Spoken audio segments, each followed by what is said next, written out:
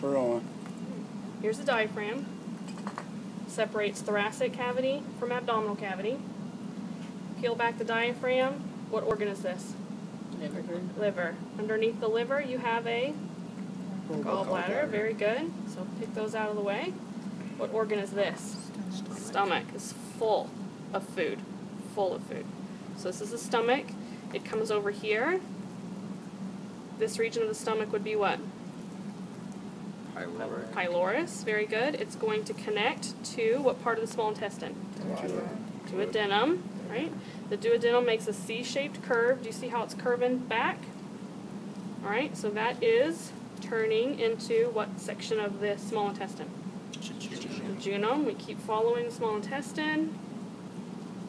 Following it, do you see this tissue?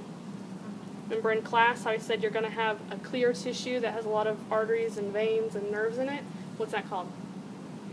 Mesentery. Very good. So we're going to keep following it. Now we're in the ileum, and eventually we're going to hit the large intestine. How can you tell the difference between the small intestine and the large intestine?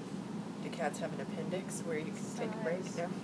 Size. Very good. So the diameter of the small intestine is smaller than the diameter of the large intestine.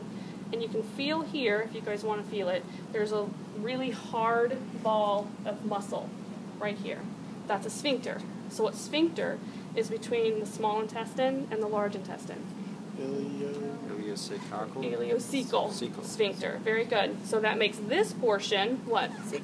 The cecum. All right. So we come back up, and you turn into what portion of the intestine? Ascending. Ascending. It goes across in a human. and That's transverse. All right. You start to go down. That is descending. In a human, it goes an S-shaped curve. That is Sigmoid. sigmoid. All right. So now we're going to move these ovaries or the uterus out of the way, and you can see we're now into rectum. And then it's underneath the vagina here, so we pick up the vagina and lift up the cat, and you can see the anus. We good?